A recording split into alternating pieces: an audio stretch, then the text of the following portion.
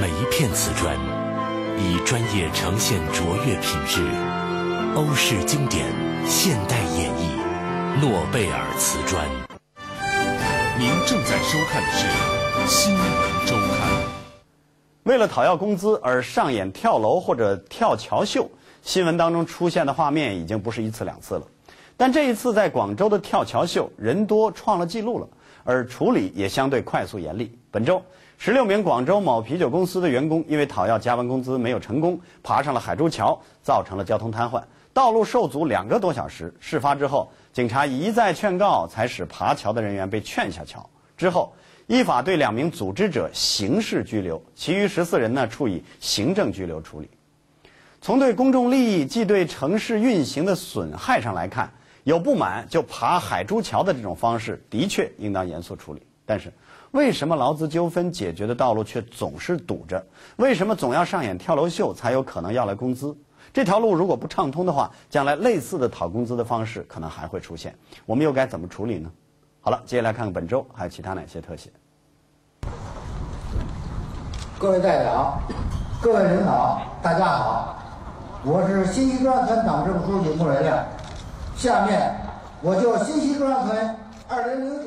虽然已经是第四年站在这个广场上，但是穆瑞亮还是十分的紧张，因为台下这些搬着小马扎、裹在棉袄里的听众，可不是来听他演讲的，而是来为他这一年的工作打分的。十一月三号，北京市通州区永乐店镇的三十八名村支书，每人三分钟，陆续登台做自己的述职报告。而台下的五千多位村民，则是按照每个村落的标志牌列队而坐。实事求是，根据他这发言，这个做的实事，完成的任务，我来了来进行来画。